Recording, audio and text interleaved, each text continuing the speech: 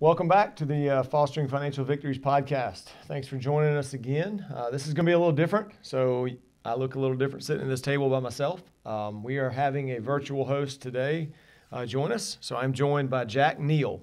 Um, and the topic of today is going to be uh, cryptocurrency at its finest. Um, so Jack and I, from the same hometown, uh, went to the same high school. He's a little bit younger than I am.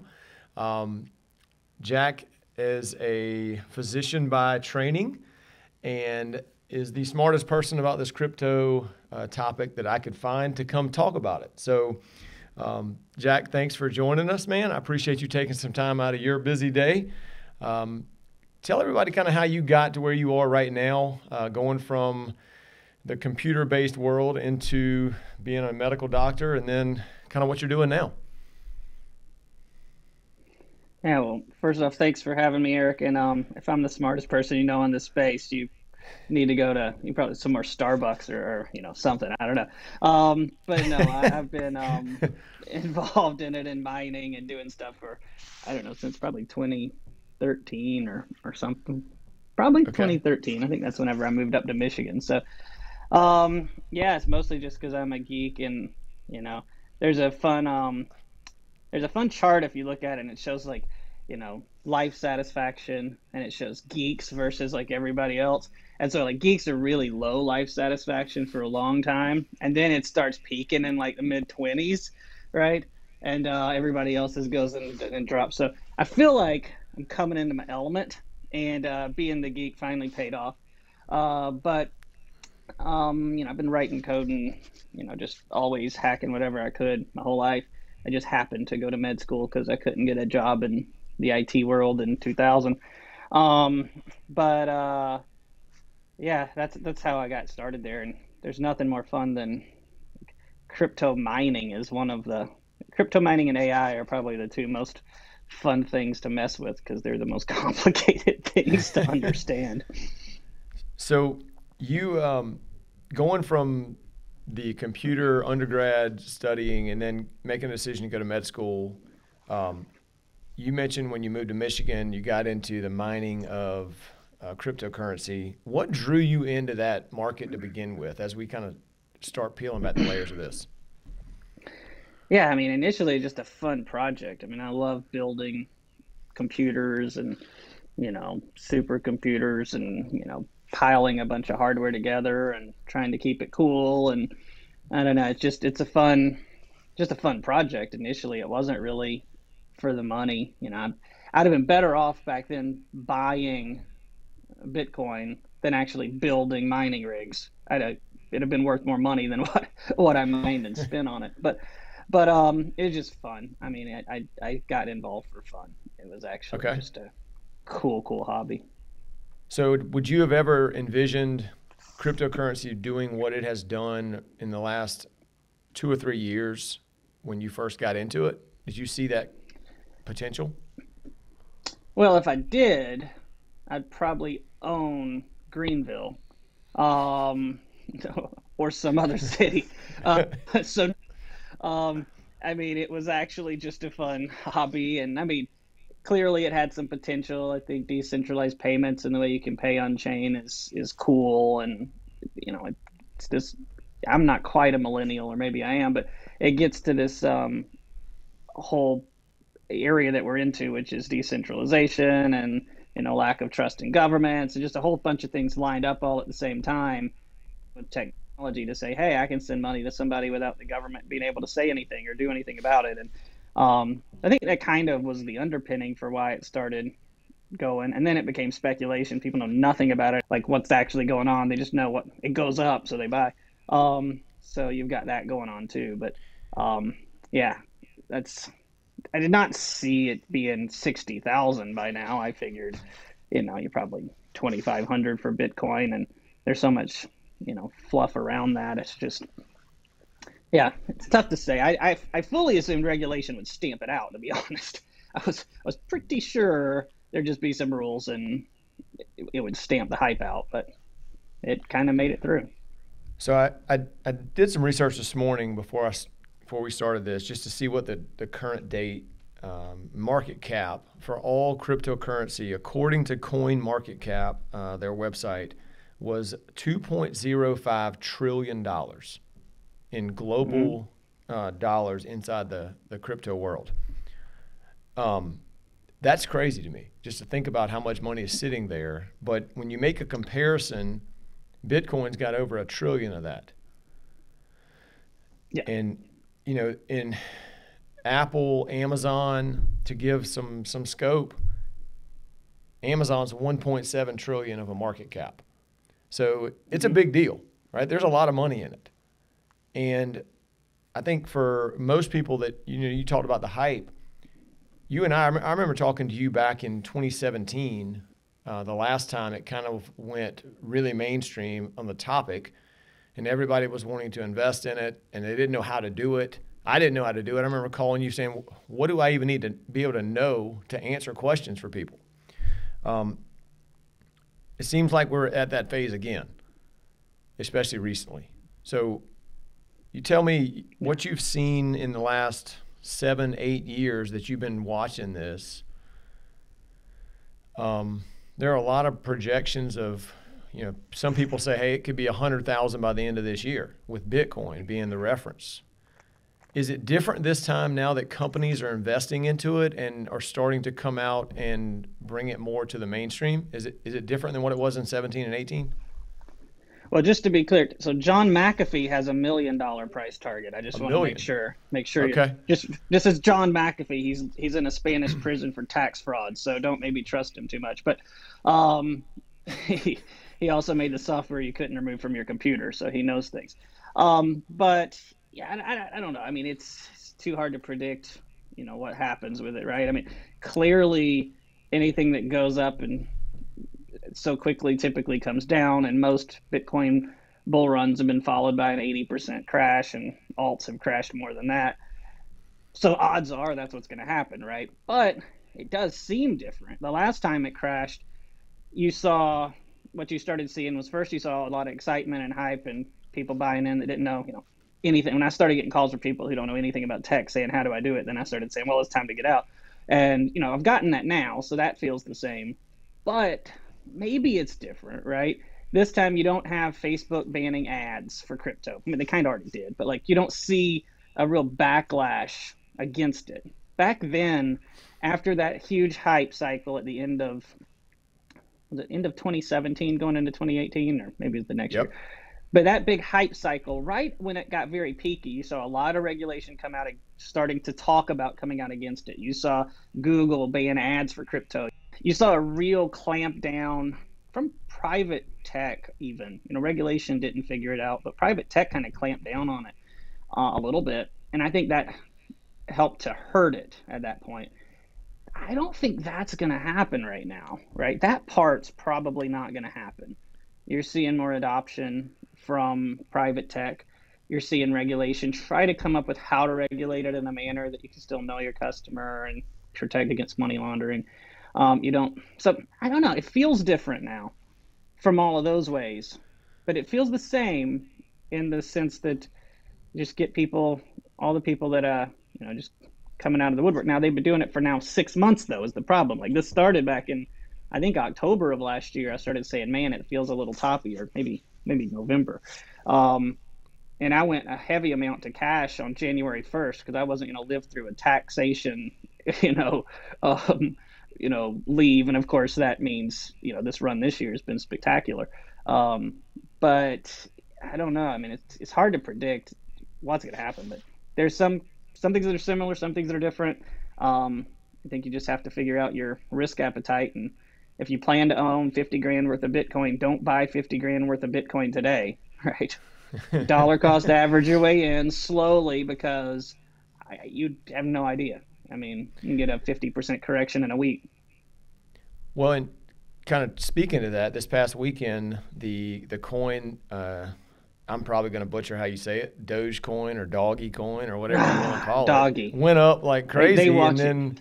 Yeah, they yeah, want you down. to call it doggy coin. I'm, there you go. I promise you. Yeah, yeah, yeah. They don't. They all want you to call it doggy coin. And, um, and now it's down fifty percent from what it hit uh, over the weekend, in a matter but, of three or four days. Yeah. But if, did you look back to what it was in October? or September, I think. It was pretty. lo- I think it was point zero zero two cents. That's and it ran up to what, like forty-five cents or something. Forty. Yeah, yeah, yeah. Okay. So I mean, that's clearly that's clearly dumb, right? And um, there's nothing that changed in a market. It's just how supply demand works. You know, Doggy Coin doesn't. I'm going to call it that, but um, doesn't really have a finite supply written into the algorithm, so they can mine more if they want to. Um, you know, it just takes a proposal to do it, but there's no finite supply of Doggy Coin. So, you know, it's kind of like, but it's very similar to GameStop, right? I mean, sure, GameStop can just issue a whole bunch of shares because they should and raise money, but the people that are piling into it, I mean, it's just you're just you're hoping you get out before that news happens, and sometimes I think you can ride it up and, and just wait for the news and sell like a flash when you get it. But I mean, Doggy Coin's a little different. Um, it's just I think it's almost 99% just Elon Musk, right? It's purely just him memeing it, and people love Elon. And if they if his followers pile into the same thing, It's I going to mean, move. They could have they could have piled into Goodyear tires, you know. I don't know, but So um, you you mentioned the supply of that coin. So can you talk about how Bitcoin is different as it relates to that? Yeah, Bitcoin has, at least for now, right? It, it, it has hard coded into the Bitcoin proposal and the algorithm and the code base that only a finite amount are mined during each block. So it halved last year. I think it's at 12 and a half now. So each each block that's found gets a um, you know a certain amount of Bitcoin is released um, or given to the miner who finds it, and that gold is basically why people run the expensive mining equipment, you know, to keep the actual chain running. Um, so Bitcoin has that hard coded into the algorithm, the amount that come out per block, and that halves every uh, something like two years or something like that. And it's set that over the course of um, probably the next hundred, I think it looks like in like 80 something years, all of them would be quote found. But it's a depreciating asset class, right? You're rewarded for putting it away, unlike the dollar where you're rewarded for investing it.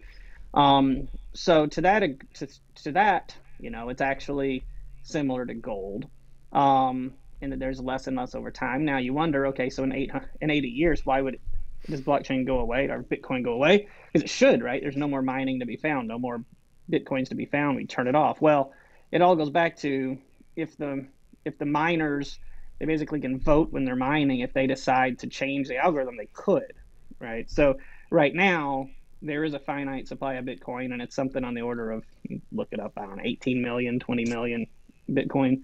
Um, but the miners technically could vote to increase that.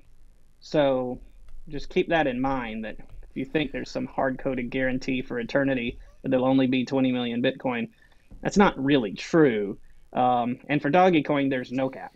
I mean at all. There's nothing even So it's totally different. there. Completely different. it yeah it's it's it's Yeah. Okay. but it, it's So- junk but if everyone agrees to transact in it you can transact in junk it's like a toy anything's a toy if you play with it so anything's money Right. if you accept it i mean so So with t- with uh, let's talk through with with Bitcoin and, and Tesla when when they came out, you know, earlier this year, and Tesla starts talking about moving forward to at some point start accepting Bitcoin as as payment. I know they did a big investment into it. What does that do? Does that does that bring it to a more legit platform from the the mainstream who aren't just kind of toying and playing back and forth with it? Does that does that make it more of a of an asset in in well in those eyes? not until he fixes the price in bitcoin right right now the price is going to be a conversion from dollars and as long as that's the case it's just kind of silly i mean it's something right it's something So the the technology behind cryptocurrency is often overlooked. I think. Um, I think people are typically just trading it like they would trade stocks in general. At least some people are. Um, talk through the is is the biggest advantage of crypto really the the technology is being developed on the blockchain side of things, and then you know talk how that relates to what you're starting to see with these uh, NFTs that are starting to be bought and sold using that network. like if you send money through your bank to somebody, you know, that's stored in a ledger at the bank in a database, right? And so, in theory, somebody at the bank can move it around and screw around with it and steal your money or whatever. Blockchain, because it's basically sealed with signatures, digital signatures, these cryptographic keys. Um, the when you have, you know, best way I can explain it is like you've got a mailbox out front of your house with an address, and it's a glass mailbox, and everybody can see in it, right? So they know that, you know, 213 Spring Creek Court has, you know, 100 bucks in it or whatever, right? You can see it, but you can't get it, right? You got to have the key to unlock it to send $10 to the mailbox next door. Um, and so that private key is actually when you're transacting on a chain, that private key is the piece that's your special, nobody better get it because they can unlock your mailbox and take all your money if they get it. Um, so if you want to send the money, you and all this stuff ends up being abstracted to you because it's you know handled by MetaMask or different tools. But basically, that packet that's saying I'm going to send 10 or say one of my 10 Bitcoin, I'm going to send it to my neighbor. You sign it with a private key that's handed off to the blockchain to be mined, to be written into a block. And a block is like a database ledger, like it's going to store it and it's going to be there for eternity. And so you hand it off, and as long as the signature is valid, when a block is mined, and for Ethereum, it depends on how much money you pay them to put it in the block. It's actually more complicated, but um, they'll mine it in the block. And then for Eternity, that is written hard coded and it gets spread amongst every ledger in the world that's running a full node. And so there is no bank with the ledger. That ledger is everywhere. You can't undo it. Um, it's stacked into the chain permanently. And now that one that you sent to your neighbor is now in your neighbor's mailbox and the only way they can move it is with their private key. And if they lose their private key, then for the rest of eternity, you can look in their mailbox and see one dollars in their mailbox, and no one will touch it. they can't touch it. So, yeah.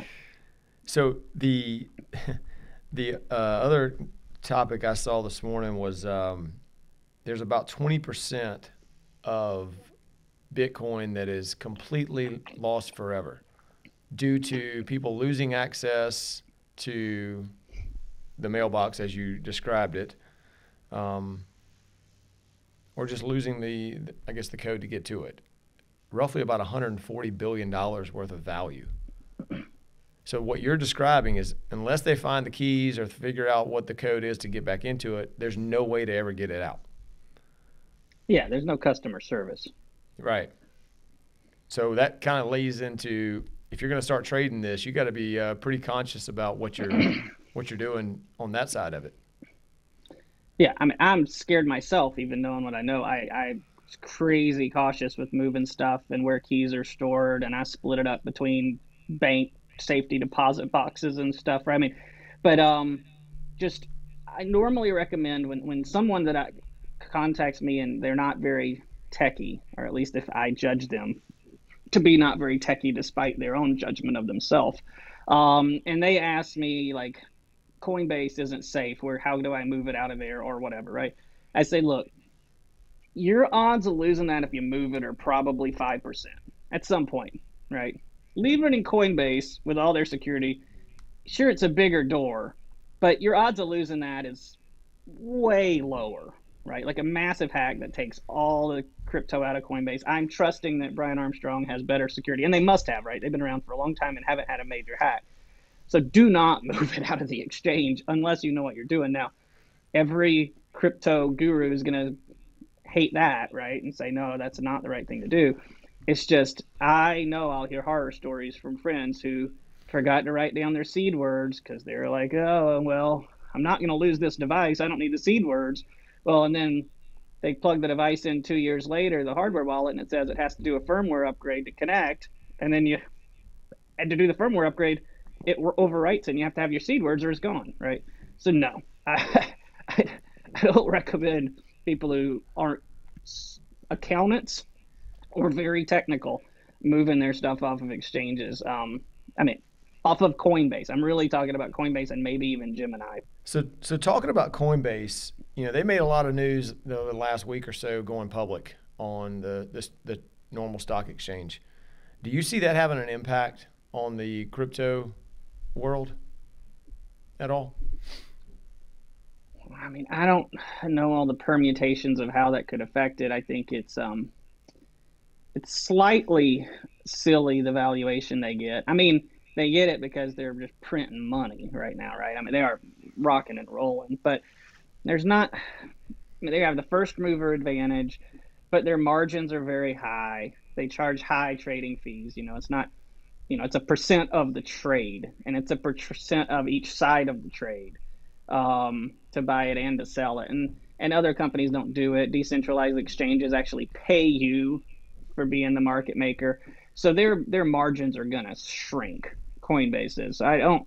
You know, it still probably goes up, right? Because people don't have a lot of options to play, so it's probably going to go up. But it doesn't make sense to go up it's definitely not a sure win because their revenue and their margin is going to get compressed over the next you know 18 months.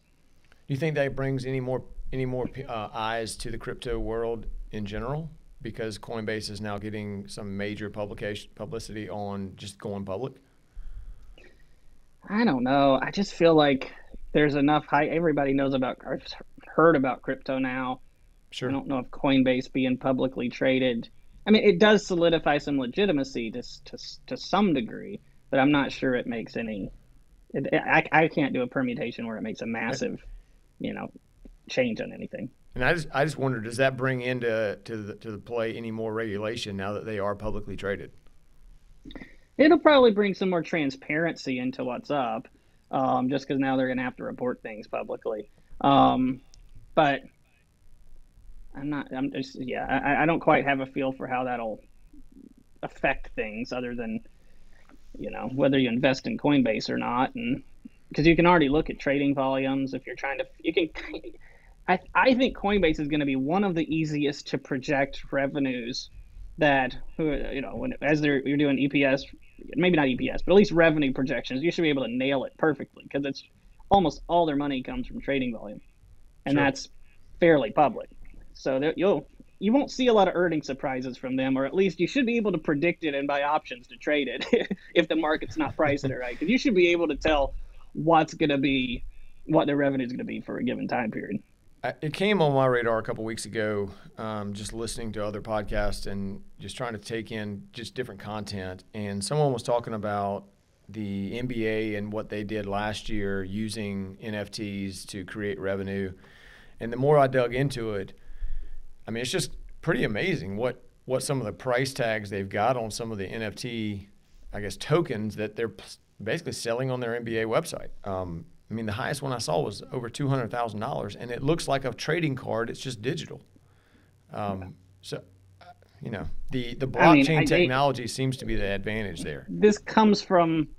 So there's the two sides. There's one is the what's the value? Is it actually value at all? And the second is you know technologically. So the value at all part, I, I can't I can't answer at all. I, I wouldn't put money up on it right now because when doggy coin can fly through the roof like that, we just have frothy markets with tons of liquidity, the money going after anything that can make money, just super high risk appetite. And I could keep going for a while, but it's not going to go forever. At some point, people are going to want to buy the land behind their house or you know build a new you know deck off the side of their you know, people are going to try to spend the money that's locked up in these gains at some point right? It's just sure. has to happen. And so you're going to see things like nfts those those things that are leveraged basically nfts like a leveraged thing on top of crypto gains and crypto gains are on top of probably the you know the the the payments we put out last year for um, COVID payment, and then that's we got all these things layered, and probably the last one on that list is NFTs, right? So that's really the most leveraged area you can get into. Well, the the environment for trading, I know you and I have talked a little bit about this before. It's different for cryptocurrency than it is for the the normal stock market, which is open at 9:30 and closes at 4. And it trades just during the week. So, talk to me about the advantages and maybe the disadvantages of the 24 hour, 365 day a year um, trading environment that cryptocurrency operates in. Well, the first would be the disadvantage is terrible. I mean, it's it's awful. Like like once you once you get used to it or once you get into it, it's I, I think you see this in a lot of. I mean, if you ask around to people you know who are invested, you you you without a lot of effort, you actually create an addiction, right? That volatility and that continuous on is that addicting thing that you can't stop looking. You look when you wake up in the middle of the night, you look in the morning, like it's just it's terrible. It consumes you. Uh, so then you end up having to write bots to try to do it for you, which consumes you just as much. Um, but I think the always on is awful. It's just you can't. You're not going to change it, right? It's it's not a fixable thing. You just have to learn how to um, how to avoid looking so much. If you're a trader, if you're a holder, maybe that's okay. But if you're someone who trades, it's it's uh, it's just ruinable. I mean, it's just it's an addiction. I mean, the pro side is, you know, you don't have those opening and closing volumes and that thin liquidity overnight. You know, it's you have these weird periods where you know at like 11 p.m. China comes online. So back, maybe China will get more involved in crypto, but back before China sort of banned it ish, um, at 11 p.m. you'd see a huge volume spike, right? So you could actually trade around when countries woke up to some degree. Um, you know, and that's an interesting thing to watch just as it goes around the world, um, these volume spikes. But, um, you know, it, it means that while you're sleeping, stuff, big stuff happens and you don't have any ability to um, respond. And, and, and so it's fine if you're a holder, you're just going to sit it and forget it anyhow. But if you're going to trade, it's, it's, um, it takes a lot of self control. So I could definitely see where that might consume your every waking moment, um, for sure. But the, you know, from the the trading side of this, how would you, if somebody came up to you now and said, and I'm sure you're getting these calls, and I think you you alluded to it, should I put money into cryptocurrency? Yes or no? And they're they're just asking you um, your opinion of it and you know nothing about them, what would be the first few things that you would tell them that they need to be aware of, that they need to understand before they ever make that decision? Yeah, I mean, simply I'd say buy some, buy one twelfth of what you want to buy over the next 12 months each month. Just set it up as a recurring buy or, or buy it however, but um, buy it that way. And then don't take it off the exchange unless you really know what you're doing or are willing to not hate yourself if you lose it. Um, because you know it's probably a five percent chance you screw up and lose it. So um, that's sort of the main simple things that I spill out to people. Okay. That's so, the shortest answer you'll get because I recite that, that, one a lot. that's perfect. Yeah, that's perfect. Do that one a lot. Um, I think being aware of the volatility and being aware of the trading environment. I don't think most people realize that it trades 24 hours a day and it never closes, at least not initially. Yeah. Um, that's one thing I've, I've heard from folks to say I was kind of surprised to, to find that out. Um, the volatility is also probably the one thing that I would think from an advisor's perspective. So my day job is you know advising clients on on how to manage their planning. I think they just need to understand how much volatility is there. And you, you talked about it earlier. You, you see massive shifts in values really quickly. Um, yeah, and if but, you're and if you're new to it, it's so easy to get off sides. And if you're, if again, unless you're just buying and holding and you actually mean that, like straight up mean it, and you you got to be that type of person. But if you're gonna trade it, it is so hard to not get off sides. Like you see a 20% drop and you say, "Oh crap, it's gonna go down 40%." You sell at 20%, it goes up 15%. You say, "God, it's gonna go back up. I gotta buy it." And You buy it, and then you just get off sides, and you're off sides the whole cycle, right? it's so hard to not do that. So, Jack, is there anything else that you think we should cover that kind of surface level, not getting too too far into the weeds of anything else, but um, anything else you think would be relevant for people to just have a good understanding about with this crypto world and whether making decisions of yeah. what they want to do? So, so it, so there's new the stuff that I and you see decentralized finance, DeFi stuff. Um, like that's the stuff that's been very hypey, very toppy for a little while now. Um, I mean, things like Compound, Uniswap, uh, Maker, DAO, those different ones. Um, you know, they've had a lot of excitement, and I think a lot of smart money has moved into them, right? Dogecoin did not have smart money move into it, right?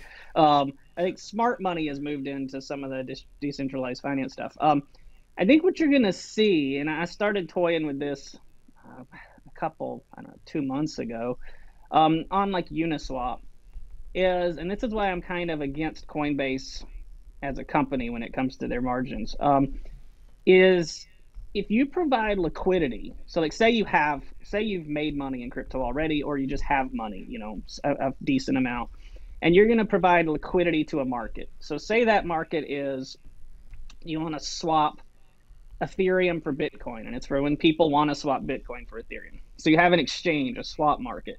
And so when you put in money, you put in based on the current sort of ratio of Bitcoin to Ethereum, you put in equal parts of both, right? And so you become a liquidity maker. So basically, you contribute to this pool, the, these equal amounts. And then based on the price on centralized exchanges, that ratio is going to change, right? That ratio will change.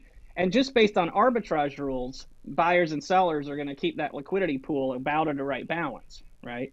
And every trade that happens, 0.3% of that money goes to the liquidity makers, right? So it's decentralized trading, right? So there's, you know, not a central authority and it's not even priced, really. It's based on arbitrage to keep the keep the ratio stable and you make 0.3% on every trade into your pool, right? I think that it's the opposite of Coinbase, right? Coinbase, like if you want to make any trade on Coinbase, say I want to make be a market maker, right? And I just want to say, hey, I don't I'm just going to put out this order I'm, you know, currently people are paying 60 grand for Bitcoin. I'll buy it at 59,000 if it gets down there. You just put a buy order on the book. Eight or six years ago, Coinbase didn't charge fees for that if you made the book. And then they started charging fees for that up to, I think, 0.2%. But all that money goes to Coinbase, right? Whereas in decentralized finance and these platforms, the people who are making the book technically are the ones who get the fees, right? So I think you're going to see tons of money pile into these and provide tons of liquidity into these uh, decentralized finance liquidity pools because you make money on the fees. Whereas if you're just bot trading on Coinbase, you're paying fees unless you trade over a billion dollars a month. So decentralized finance liquidity pools are sort of, I think, far more interesting to me than NFTs. NFTs are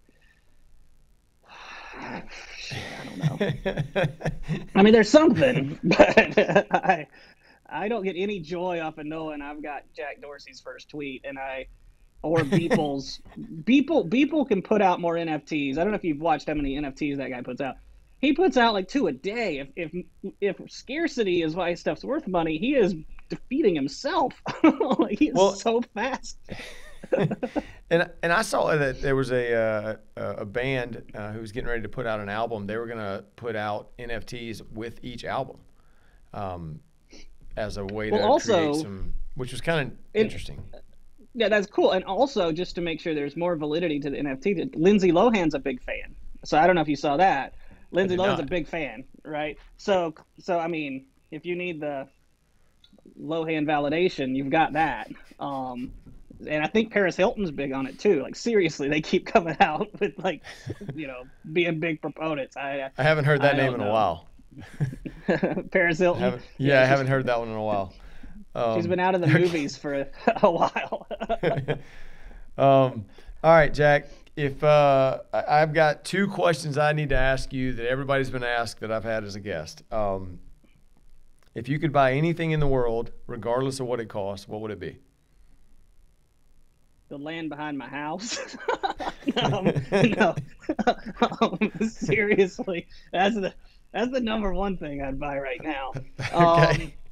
Um, All right. Um, last two things you spent money on. Uh, like significant money? Nope. Just what? last two things you spent money on. I'm sure it's Amazon, right? I don't even know it. Probably. I think this morning I accidentally bought something. Um, but that and then um, uh, not long ago we paid off all our student loans, so that's our last big purchase. It's not oh, really that's, a purchase, that's a big but, one there, man. Um, but yeah, that's where we took most of our crypto and just went and did it. So um, very cool. Yeah, that was so, the plan. Stick to the plan. I guess that's my other advice: is when you're getting in crypto, create a plan and stick to it. Do not let emotion do it because emotion it will lose your money. All right, man. Well, um, Jack, thank you for for taking time out of your day, man. I really appreciate it. Um, hopefully, this is. I know it's been fun for me. Um, always good to hear your take on a lot of this. Um, for everybody listening, thank you for joining us. Uh, if you've got questions or you want to reach out to us, you can find us on our website at fostervictorwa.com. You can also uh, keep up with us on Instagram at Foster Victor Wealth Advisors. If you have questions or topics you want us to cover, just let us know. Um, Jack, you want to let everybody know how they can find you if uh, if you want to put that out there? Yeah, I'm I'm typically down at the restaurant on Main Here we go. uh, every Friday at six. So if you want to show up down there at private property, um, we'll be hanging out down there. Um, but uh, no, we um, we work. You know, we have spaces SoCo too, but we're here in South Carolina, so um, we have a AI company, um, and uh, so we're in Columbia mostly, and around South Carolina and some other places too, um, where our people are. So uh, yeah, hit me up on LinkedIn. You can probably post a link to it. Information contained in this podcast was intended for general use, not to be used as specific advice. For content tailored to your personal situation, please contact one of our wealth coaches.